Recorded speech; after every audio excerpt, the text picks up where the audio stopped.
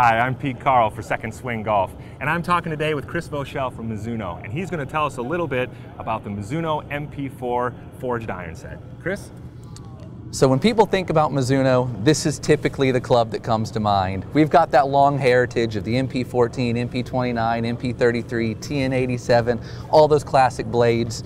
MP4 is our newest blade that really looks back to those and really pays, pays tribute to them. What I mean by that is in the past couple of years, our blades have gotten a little bit longer from heel to toe. They've been a little bit thicker on the top line, things to try to add more forgiveness to a blade. With this one, we wanted to take a step back, go back to what that blade player really likes, and then try to engineer that technology into it afterwards.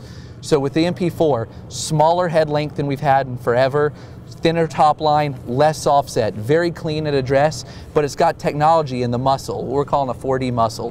When you're in the long irons, you can get a little bit of bulge in that muscle that's going to help get the ball up in the air a bit more.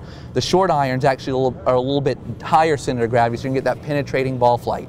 This is a golf club that's going to perform just beautifully, and you'll be proud of to look at it in your bag. So check out the MP4s. Well, there you have it. A beautiful traditional blade club for that person who's looking for unparalleled feel and control out of their iron set. So stop on into Second Swing and take advantage of the free custom fitting to come along with your MP4 Mizuno iron set.